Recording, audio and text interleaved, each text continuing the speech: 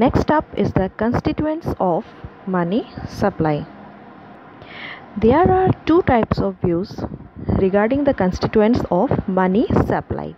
They can be divided as the first view, the traditional approach or traditional view.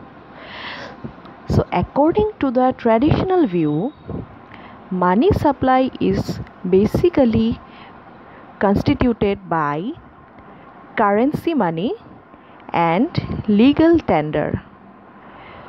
This includes coins and currency notes and bank money that is checkable demand deposits with the commercial banks. So, according to the traditional view, the supply of money constitutes, constitutes of the currency money which is with the public and the bank money which is basically checkable demand deposits with the commercial bank.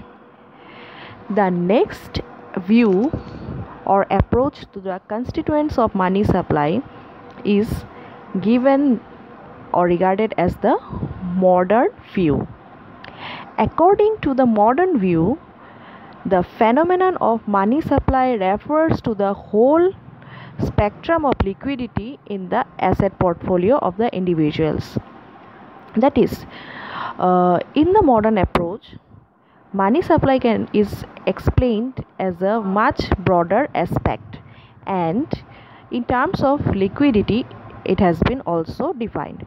So according to the modern view the supply of money basically consists of number a coins number b currency notes number c demand deposits. Number d time deposits. Number e financial assets. And lastly it also includes treasury and exchange bills and bonds